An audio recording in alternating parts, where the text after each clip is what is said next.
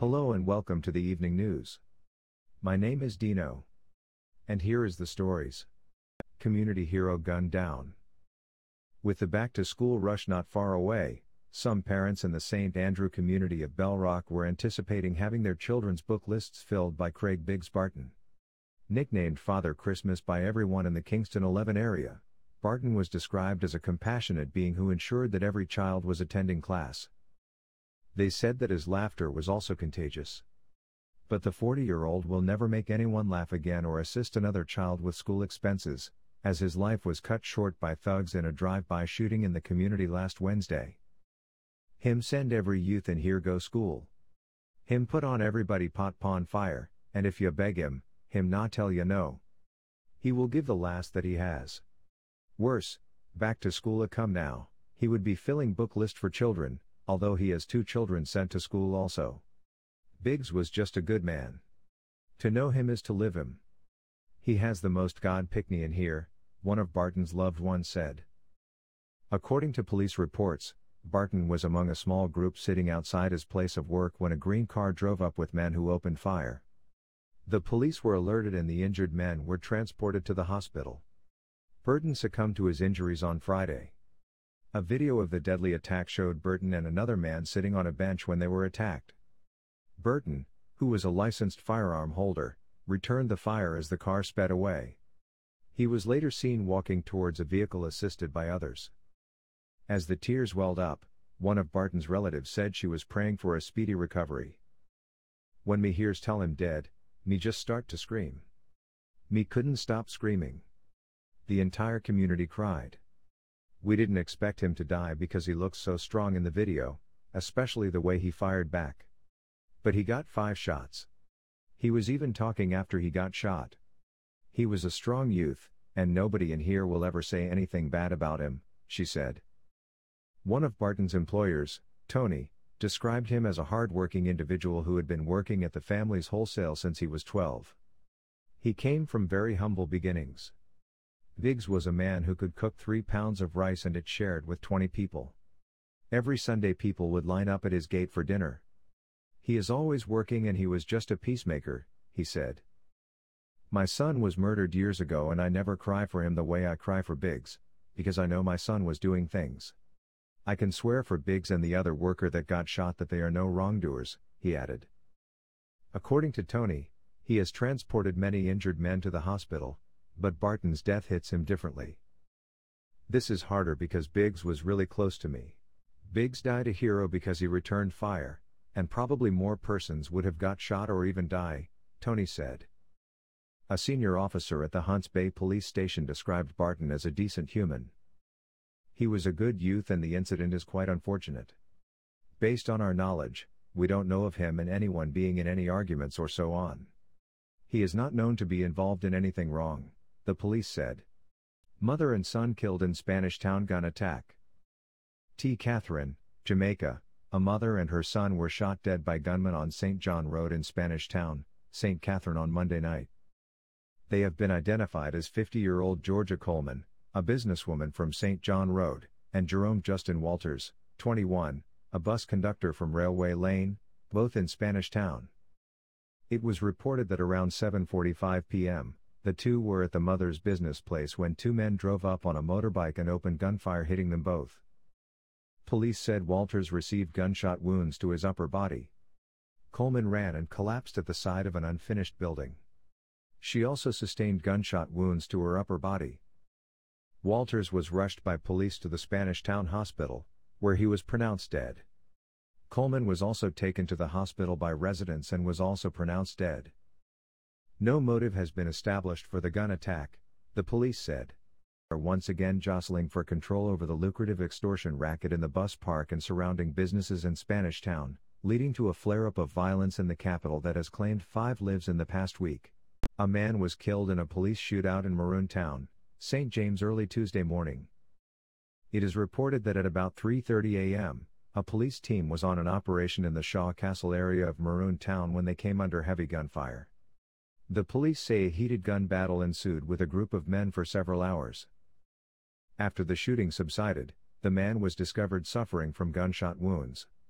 The police say an illegal firearm was taken from him. He was taken to hospital where he was pronounced dead. The Independent Commission of Investigations has commenced an investigation into the shooting. PNP calls for due process for Haitian migrants. The People's National Party, PNP, is calling for due process and fair treatment, in accordance with international law, of the Haitian migrants who arrived in Jamaica recently. It says their arrival presents a humanitarian challenge, necessitating swift and coordinated efforts to provide assistance, protection, and humane treatment to those in need. It's suggesting that the government prioritize ensuring the Haitian migrants are provided with appropriate legal assistance and access to due process, and establishment of proper reception facilities to accommodate the essential needs of the migrants, including health care, shelter, and basic amenities. The PNP says this must include comprehensive and transparent screening processes to identify vulnerable individuals, such as unaccompanied minors and those in need of immediate protection. It's also calling for the government to establish an overarching mechanism to strengthen interagency cooperation and coordination for effective management of the situation, including immigration authorities, humanitarian agencies, and relevant government ministries, partnering with non governmental organizations who have expertise in this area. The PNP points to the United Nations High Commissioner for Refugees, the International Organization for Migration, and CARICOM as possible resources. This should include sharing resources and intelligence and adopting best practices to ensure a unified and effective approach in managing the influx of Haitian migrants. This must include upholding international human rights standards and ensuring that all migrants, regardless of their nationality or immigration status, are treated with dignity and respect, it says. Search underway for drowned police recruit's body. The High Command of the Jamaica Constabulary Force, JCF, says a trainee officer drowned at its Tranquility Bay, St. Elizabeth, training facility while trying to aid a fellow recruit. He has been identified as 19 year old Rayandre Pike, of Linstead, St. Catherine. A comprehensive search is currently underway to locate Pike's body. Pike was part of Batch 150, which started training in March 2023. He was a dedicated young man, committed to serving his country, and his loss is felt deeply within our ranks, the High Command said in a media release. The police say the preliminary investigation has revealed that after the completion of their morning physical training, Pike and a few fellow recruits ventured to a section of the beach to alleviate muscle fatigue. In a tragic turn of events, Pike lost his life attempting to aid a fellow recruit who had gotten into difficulty in the water. The JCF says despite being a stronger swimmer, Pike was overcome by a strong undertow. Meanwhile, the JCF says while our training exercises are designed to be rigorous, the safety of our personnel remains a priority. Two men fatally shot by police in Negril, Westmoreland. The Independent Commission of Investigations has commenced a probe into the fatal shooting of two men by the police in Red Ground, Negril, Westmoreland on Monday evening. They have been identified as 40 year old Richard Mosley and 25 year old Shane Grandison, both of Red Ground. The police report that information was received that a man sporting a dreadlocks hairstyle was seen brandishing a gun in Negril. At about 6:10 p.m., the police say cops intercepted a motor vehicle fitting the description in which the man was traveling in the red ground area and blocked its path. They further stated that a man exited the vehicle and opened fire at the police, before escaping into bushes. The police returned fire. It was later discovered that the driver and the passenger in the front seat of the vehicle were shot. They were rushed to hospital, where they were pronounced dead upon arrival. Following the fatal shooting, Upset Red Ground residents lashed out at the police accusing cops of killing the men in cold blood and claiming that both victims were not troublemakers. Updated Bob Marley Beach developers get construction go ahead. The Wolf Group, developers of the 200 million US dollars luxury resort in St. Thomas, which has caused a rift with residents in St. Thomas over access to the Bob Marley Beach and ownership of a portion of lands on the beach, has gotten the green light to start construction. Norman Stevenson, of one of the families who were claiming ownership of 2.7 acres of land on the beach, had applied for an injunction to preserve the property and to stall the construction. However, Justice Maxine Jackson yesterday refused the injunction. The Stevenson family, who has sued the developers, has reportedly been operating and residing on the land for over 60 years and is claiming ownership of the land by adverse possession, Stevenson's attorney at law Marcus Goff told Irie News Media TV that the injunction was to prevent any demolition or any interference with the lands of the Stevenson family. The applicant, in the meantime, will return to court on July 26 for a summary judgment application. Stevenson is among residents of Bull Bay who have registered strong opposition to the development, which is adjacent to their Beach Road community. The Stevenson and another family are insisting that they have built their livelihoods on the state owned Bob Marley Beach, which reportedly forms part of the scope of the project. They have said that they are facing the threat of eviction. The residents are also claiming that they are at risk of losing access to the beach as the adjoining lands for entry were sold to the developer. However, this aspect of the case has been fixed for another date.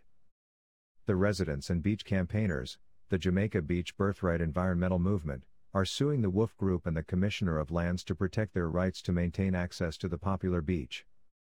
However, one of the directors of the Wolf Company, Donovan Reed, in a previous interview dismissed the residents' claim as patently false.